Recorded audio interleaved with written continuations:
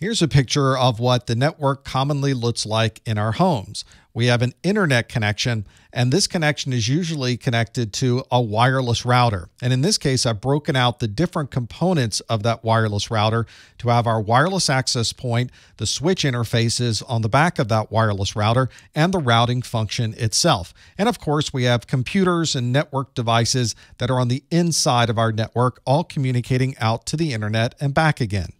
From our computer, we may send information over the wireless network that then connects to the switch and is ultimately routed out to the internet. That information goes to a server on the internet side and then begins the process of coming back inside of our router to our switch interface onto the wireless network and back to our computer. It's not much different in an enterprise network. There may be separate switches and separate routers and separate wireless access points, but the functionality is exactly the same functionality that it has inside of your home.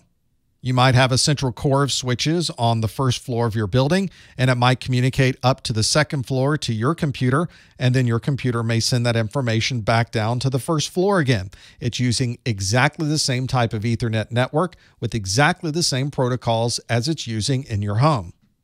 And of course, the same process occurs as the network grows even larger. On a large enterprise network, there may be individual buildings with switches inside each one of those. But the process of sending that Ethernet frame across the network and getting a response from that device is exactly the same as it occurs in every other Ethernet network in the world. On this particular slide, I want to break out for you what's inside of that Ethernet frame. This level of detail is not necessarily required for the Network Plus certification, but it is useful for understanding the way that our switches and our routers work inside of our network. If you were to capture an Ethernet frame with a packet analyzer and view the components of that frame, it will look a lot like what we have at the bottom of the screen here. We start with a preamble, and then there's a start frame delimiter. Then there's a destination MAC address. That's where this particular frame is destined to. And we also have inside of this frame the source MAC address or the original device that was sending this data across the network. There's a type field, the payload itself, whatever we're sending across to that destination device, and finally an FCS or frame check sequence that examines everything that we sent across the network. This preamble that we start with is an alternating number of ones and zeros. This is the way that the receiving workstation knows that the rest of the information that's about to arrive is part of an Ethernet frame. Then we have a start frame delimiter, which is a very specific set of ones and zeros that is 10, 10, 10, 11. And that means that everything after this point is going to be related to this Ethernet communication. The next two pieces of information are what you might expect to have inside of an Ethernet frame. That's the destination on where this frame is going and the source address that details who sent this information across the network. This next piece of information is the type field. This is also called the ether type, which describes what's inside of this particular frame. This ether type field might describe that there's IP version 4 traffic in the rest of this frame, or it might say there's IP version 6 traffic in the rest of this frame. And then finally is the payload. There might be IP information inside of this frame. It might also have TCP data and it may be sending browsing information, but all of that is contained within the payload of the Ethernet frame. And lastly is the frame check sequence. This is something that is part of every Ethernet frame that goes across the network. The frame check sequence is a CRC checksum that looks at all of the data that was sent in this Ethernet frame and it's able to come up with a single checksum. When your device receives this frame, it calculates the frame check sequence in exactly the same way that the original device did, and then it compares that frame check sequence to what's inside of the frame itself. If those two match, then the frame was received correctly. If this frame check sequence doesn't match, then we know that something was corrupted with this data somewhere along the path. Your Ethernet card will drop this frame and it will increment a counter inside of the Ethernet card for CRC errors. So if you examine the CRC counter on your Ethernet card, you'll be able to tell how many frames were dropped because the frame check sequence did not match. Well, I've already talked a bit in this course about the MAC address that's associated with an Ethernet adapter. This is called the Media Access Control Address, and many people refer to this as the physical address of that Ethernet adapter.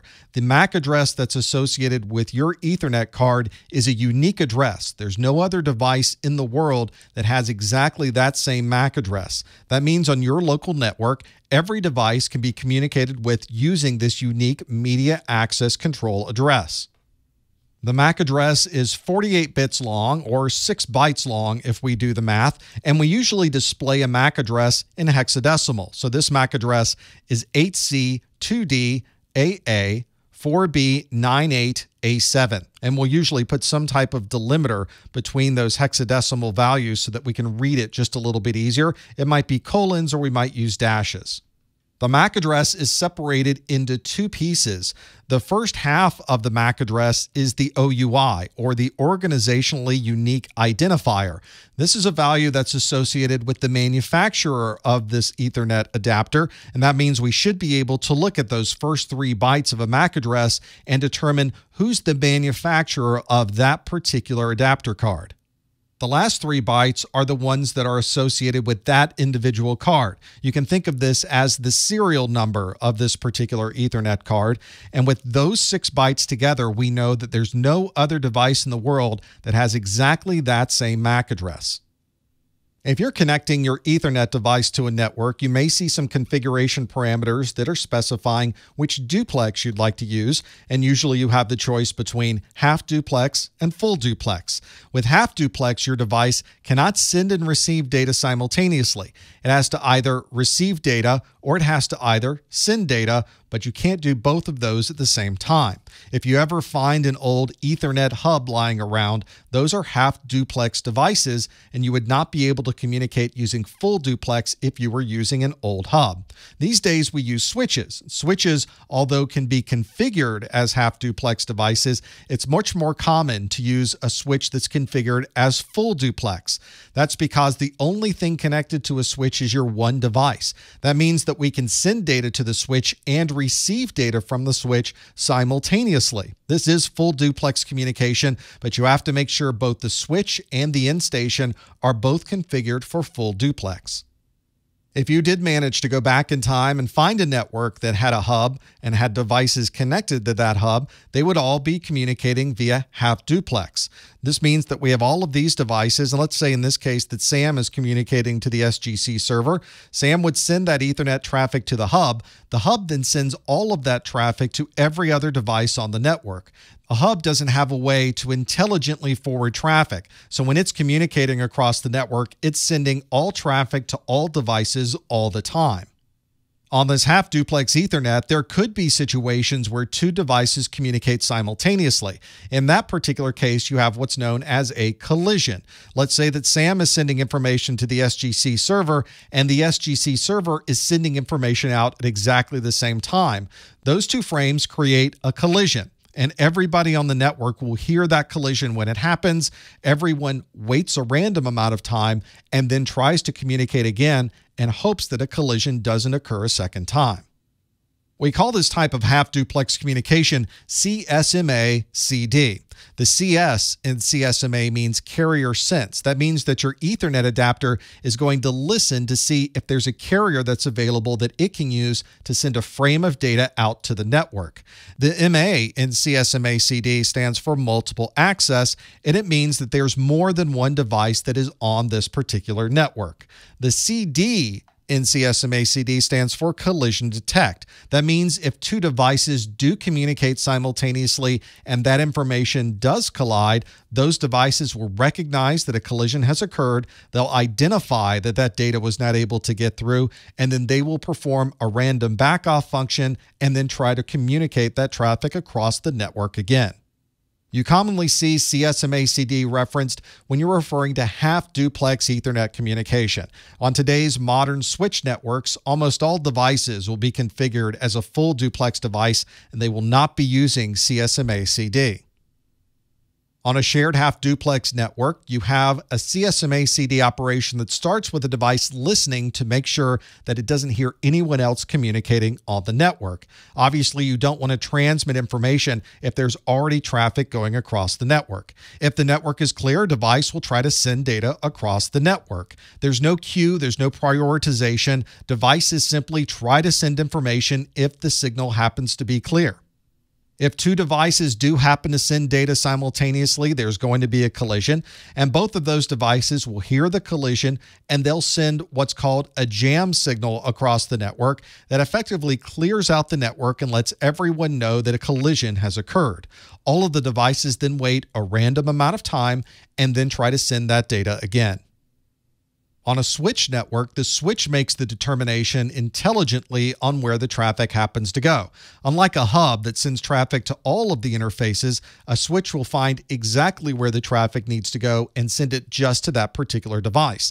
Let's take the example of Sam on this network sending information to the SGC server. Sam is going to send an Ethernet frame that has Sam's MAC address as the source MAC address and the SGC server as the destination MAC address. Sam's connected to switch A, so Sam sends that frame out to the switch. Switch A is then going to examine where the destination is for that SGC server and know that the only way you can get there is sending it out on this interface to switch B. Switch B then performs exactly that same lookup function. It will look at the destination MAC address, find where that device is located on the switch, and send that Ethernet frame down to that device. On a full duplex Ethernet network, that function can occur in both directions simultaneously. So SAM can be sending data to the SGC server, while at exactly the same time, the SGC server can be sending information to SAM. Since this is a full duplex network, there's no way that the frames could possibly collide with each other. On a wireless network, the communication process works a little bit differently. On wireless networks, you'll often use CSMA CA. The CA stands for collision avoidance. On a wireless network, as a device is sending information, it's effectively overloading its receiver, so it's not able to hear anything else while it's transmitting data.